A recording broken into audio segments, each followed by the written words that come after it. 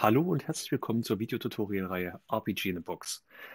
Ich bin Carsten und ich möchte euch äh, im Laufe dieser Videotutorial-Reihe vorstellen, wie ihr RPG in a Box verwendet, mit euch gemeinsam ein erstes Projekt starten und dies immer weiter ausbauen, bis wir ein fertiges Projekt haben und dann vielleicht mit euren Wünschen das immer weiter um Funktionalitäten erweitern. Ich werde euch den Objekteditor zeigen, ich werde euch den Karteneditor zeigen, den Skripteditor, ich werde mit euch Coden durchgehen und das Ganze soll ein bisschen interaktiv sein, das heißt so interaktiv, wie es möglich ist. Ich werde etwas vorführen und euch immer die Möglichkeit geben, es mitzumachen. Und ihr könnt in den Kommentaren mit mir Fragen stellen, die ich versuche euch zu beantworten, damit ihr möglichst viel dabei lernt. Um mit RPG in a Box zu beginnen, müsst ihr als allererstes ein neues Projekt erstellen. Das macht ihr über Create a New Game.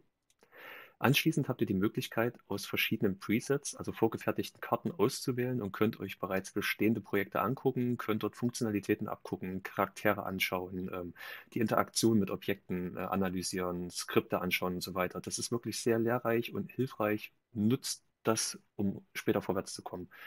Momentan wollen wir ein eigenes Projekt erstellen. Das heißt, wir geben dem Ding einen Namen.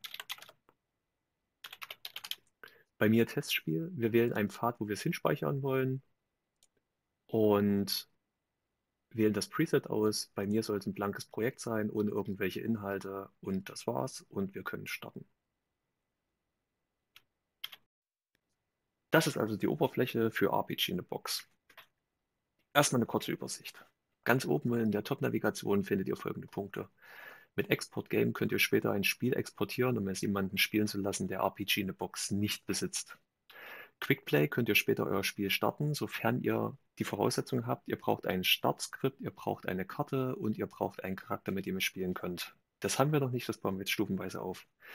Den SoundFX-Generator können wir benutzen, um einzelne Spielesounds zu erzeugen, Öffnen von Kisten, Aufheben von Items und so weiter. Die Asset Library ist super hilfreich, damit könnt ihr aus allen anderen Presets die Charaktere, Kacheln und Wandteile importieren, indem ihr die einfach auswählt und auf Import klickt.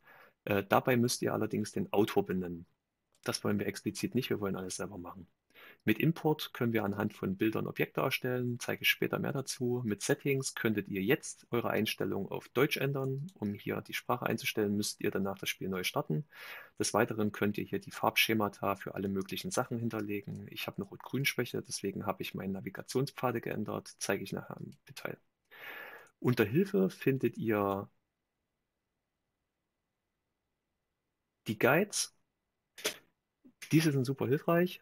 In Englisch. Äh, guckt sie euch gerne an. Sie sind nicht schwer, auch zum Mitmachen und prinzipiell werden alle Sachen, die ich hier zeige, gezeigt. Äh, allerdings will ich eine deutsche Tutorial-Reihe machen, deswegen gehe ich jetzt hier nicht näher drauf ein. Ansonsten findet ihr hier alle möglichen Erklärungen für Editoren, Generatoren und so weiter. Nutzt das als Nachschlagewerk auf jeden Fall. Über Exit Game Manager könnt ihr jederzeit ein neues Projekt auswählen. Und das war's zur Top-Navigation. Des Weiteren findet ihr hier im linken Bereich alle eure erstellten Komponenten. Ähm, ihr findet hier oben den Voxel-Editor, mit dem ihr Objekte erstellen könnt, den Map-Editor für die Karten, den Script-Editor, um durch Drag-and-Drop-Konfigurationen Programmlogiken zu hinterlegen, Dialoge erstellen, UI erstellen, Effekte erstellen und so weiter. Wie der Name schon sagt, kommen wir alles noch dazu. Im nächsten Schritt werden wir einen Charakter anlegen, um danach eine Karte zu erstellen und ein Startskript zu machen. Damit geht es im nächsten Video weiter. Wenn euch das bisher gefallen hat, bleibt dran. Ich freue mich super über, sehr über ein Abo, gebt einen Daumen nach oben und wir sehen uns demnächst. Tschüss.